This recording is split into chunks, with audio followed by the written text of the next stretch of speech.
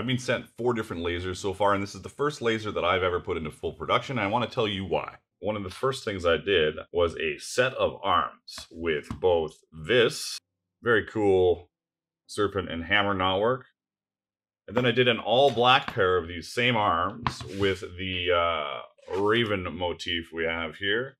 I may insert a picture of it here because I don't have them anymore because somebody purchased them. Anybody that knows this channel knows that I like to do Viking artwork and I like to do armor, which means heavy leather, larger pieces. The Creality Falcon 2 has the ability to cut through that heavy leather.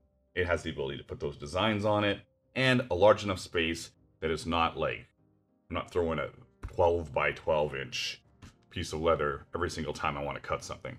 I still love leather carving and I will continue to do lots of leather carving on this channel, but this laser enables me to currently add art to all of my armor for free until I start charging for it because it's no no extra time for me personally. It's got some time on the laser, but right now I'm just producing armor with art, which is awesome. And I haven't even been using them that long, so I'm still figuring stuff out.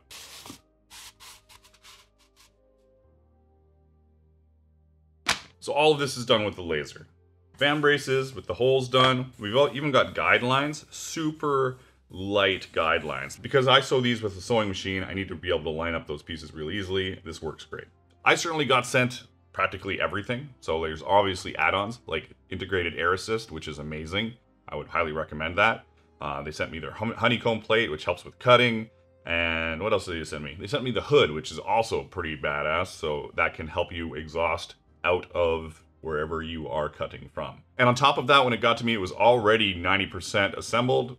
Took probably 15 minutes to finish it off. So now this last time when I went and bought some saddle skirting for armor, I just cut it into squares and then put them in a pile and put them into the laser whenever I need them. It's not taking me very long to convert all my patterns to laser patterns and then taking those squares and just making sure everything is filled nicely so I get the smallest amount of wasted space possible.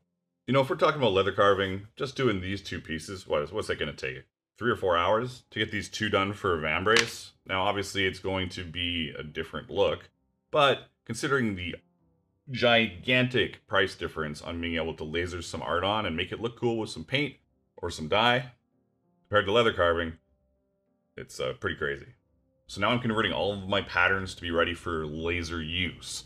I haven't done anything on my website with this yet, but on my Patreon, there is the Legend tier, which is the laser tier. For more information on that and some screaming deals on patterns and artwork, check the description of this video. I think this Creality Falcon 2 is in the neighborhood of probably $1,300 or so. Don't quote me. Um, depending on the bits you have for it, uh, air assist and the hood, stuff like that, what wattage it is, 22 watt, 40 or 12, I think is the other one. Um, I wouldn't go any less than the 22. The 40 is probably perfect. And there's a link to the Creality Falcon 2 in the description of this video, obviously, so make sure you have a look at that.